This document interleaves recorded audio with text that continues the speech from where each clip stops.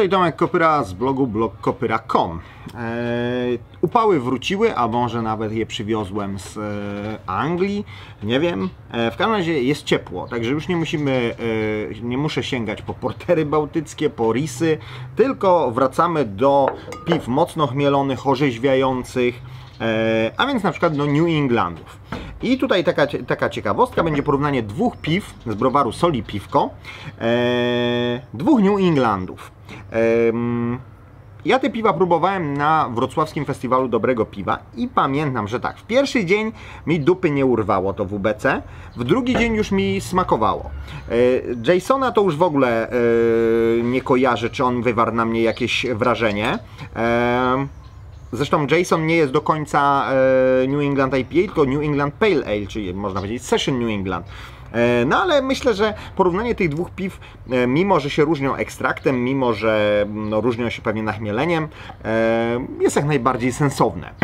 Słów kilka o tych piwach. Jason New England Pale Ale, ekstrakt 12, alkohol 4,6, IBU 1 na 12. Jason Beer Hops Tough Guy, Browar Soli Piwko IPA nie, Pale Ale, P PA, Transporter, Citra, Craft, e, Craft Beer, Fast and Furious, Mechanic, Low Ibu, amerykańskie chmiele, zarzecze dobre piwo, soli piwko, Craft Brands, Flow, Brew with Joy, włoska robota, zakładnik New England, Beer Porn, Ceramic, Ceramic IPA Glass, Aha, snatch przekręt. No już myślałem, że nie będzie snatcha, bo dla mnie Jason Statham, e, na którego cześć to piwo jest, e, jak sądzę, nazwane, e, to jest przede wszystkim Turkish z, ze snatcha, z przekrętu. To jest mój, jeden z moich ukochanych filmów. Mogę oglądać dowolną ilość razy. więc to jest dwunastka. chmiele to Citra, Chinook i Cascade drożdże piwowarskie, nie jest napisane jakie, ale z tego co mi mówił Wojtek, to on na tym piwie rozpędzał drożdże do tego piwa. E, czyli namnażał jakby, chciał mieć tą drugą szarżę.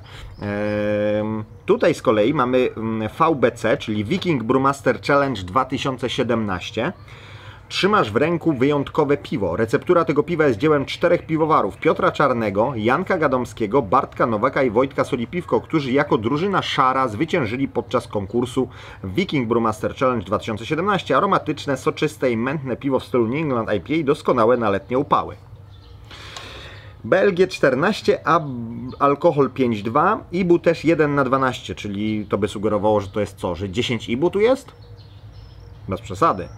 E, no bo to jest ta nomenklatura, że 12 to 120, nie? No ale 10 na 12. E, tutaj z kolei mamy Citra, Mozaik i Centennial. E, drożdże Fermentum Mobile. Tutaj z dodatków mamy słód jęczmienny Pale Ale, słód żytni, płatki owsiane, a tu mamy płatki owsiane i płatki pszenne. No spróbujmy. E, taka ciekawostka, jakbyście chcieli wziąć udział w Viking Brewmaster Challenge, to właśnie trwa rekrutacja do edycji 2018, 2018 e, do któregoś tam sierpnia. E, kapsel czarny golas, więc tutaj już bez jakby sentymentów. No ładny aromat się uniósł. Uniósł się aromat po prostu chmielowy, bardzo rzeźki.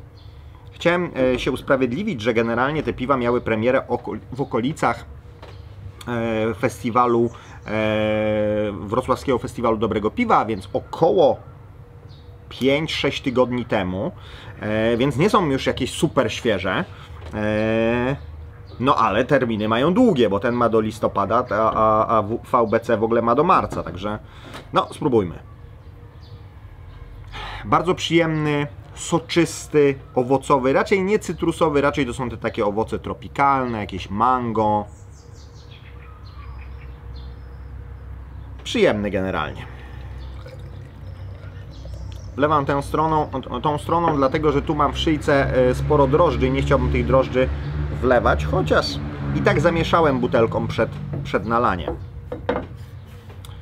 No, bardzo ładnie się prezentuje, mm, równomierne zmętnienie, mm, takie, no, wygląda wajcenowo, ale jak najbardziej taki poziom zmętnienia jest pożądany w New Englandzie to samo. Owoce, trochę białe owoce, trochę takie żółte owoce, dojrzałe mango, jakieś tam no brzoskwinie może nie, no ale wiecie, takie żółte owoce, nie cytrusy.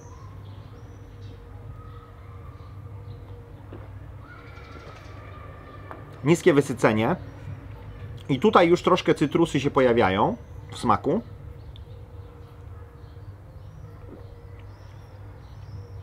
Pojawia się goryczka. No myślę, że to jest bliżej 20 ibu niż 10, no nie przesadzajmy. Jest dobrze. Jest dobrze. Jest bardzo łatwo pijalne. Bardzo dobrze, że nie jest przegazowane. Znaczy nie, żeby jakby e, to była jakaś częsta e, sprawa, ale mm, w, mm, niskie wysycenie podkreśla tę gładkość tego piwa. Więc bardzo fajnie. Bardzo fajnie to wyszło.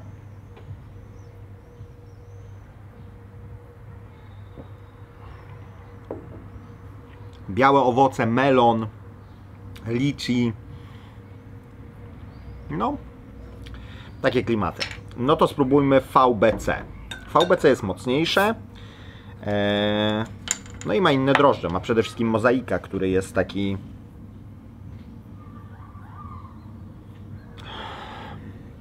Tu bym powiedział, że bardziej cytrusowo. Przyjemnie, ale chyba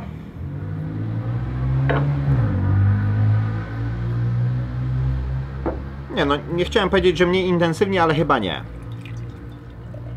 Natomiast wydaje mi się, że zdecydowanie mniejsze zmętnienie jest. Ono jest prawie klarowne, a mówię, oba były zam, zamieszane przeze mnie przed. Yy, przy, na chwilę przed wyciągnięciem z lodówki. Znaczy, zamieszałem i włożyłem z powrotem. Eee, barwa ciemniejsza o ton też gdyby ono było bardziej mętne, to by się wydawało jaśniejsze, bo na e, drobinkach drożdży e, po prostu odbija się światło, więc e, piwa mętne zwykle wydają się jaśniejsze niż są w rzeczywistości. Białe owoce. No ale Jason bardziej aromatyczny.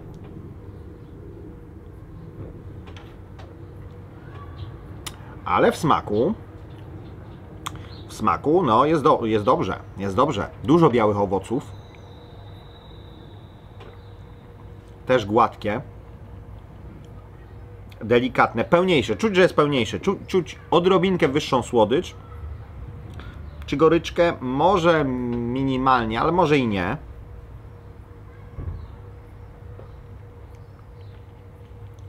Fajny taki posmak trochę cytrusowo-grejpfrutowy, trochę właśnie taki melonowy.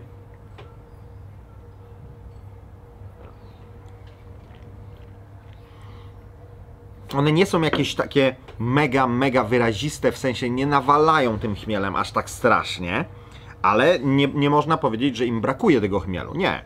Yy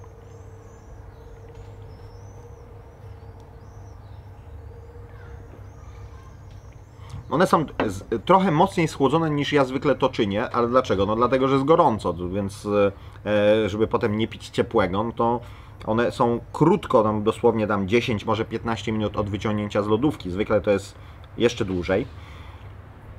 No powiem Wam, że yy, jeśli idzie o aromat, to Jason ma lepszy aromat ale jeśli chodzi o smak, o overall impression, czyli o mm, wrażenie ogólne, no to VBC jest lepsze. I mam wrażenie, że mi smakuje lepiej niż na festiwalu.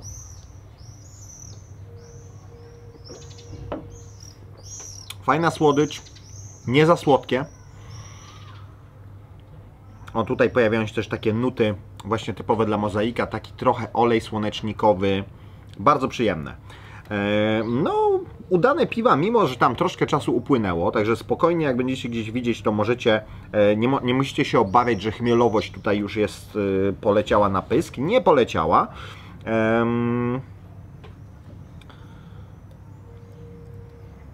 Ogólnie uważam, że VBC jednak lepsze.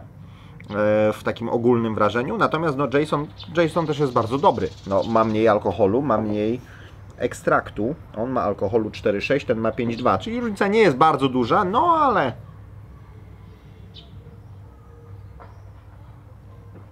No i cały czas lepiej pachnie. No lepiej. No może, może nie, nie, nie tak, że w VBC pachnie źle, albo że, że nie pachnie, bo pachnie, ale minimalnie to po prostu tak o, o, o, em, o włos. Moim zdaniem aromatem wygrywa Jason, natomiast overall e, zdecydowanie VBC lepsze, także tutaj Wojtek, e, Wojtek Solipiwko naprawdę zrobił robotę, poświęcił swojego Jasona na to, żeby VBC było jak najlepsze. No i naprawdę jest bardzo dobre.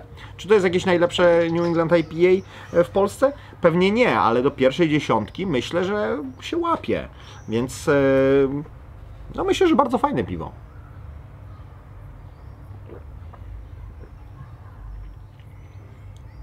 Nie jest ono aż tak. Tutaj paradoksalnie ono by się y, y, sprawiało wrażenie bardziej New Englandowego, gdyby było po prostu bardziej mętne. Z drugiej strony, e, no jest jednak taki trend, gdzie ludzie mówią, no kurde, nie przesadzajcie z tą mętnością, nie? To często daje piwo piekące, bo pojawiają się na przykład drobinki chmielu na tych drożdżach. To często daje piwo, e, które może wywo wywoływać jakieś sensacje e jelitowe.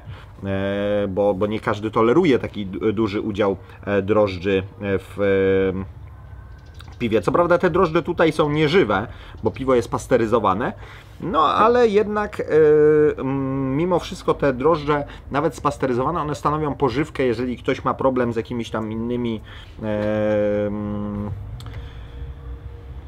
drożdżakami w przewozie pokarmowym, to one się bardzo chętnie żywią tymi, e, tymi właśnie e, nieżywymi drożdżami piwnymi.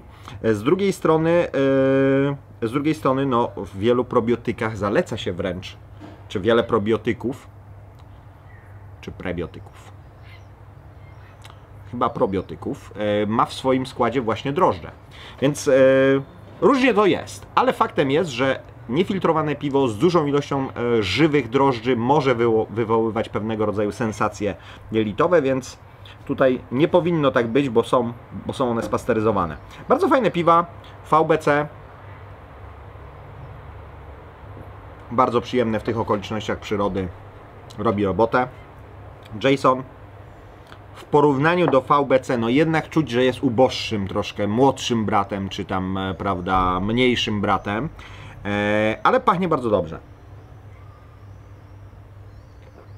Smakuje też bardzo dobrze, dopóki się go nie porówna z VBC, gdzie się okazuje, że jest nieco wodnisty.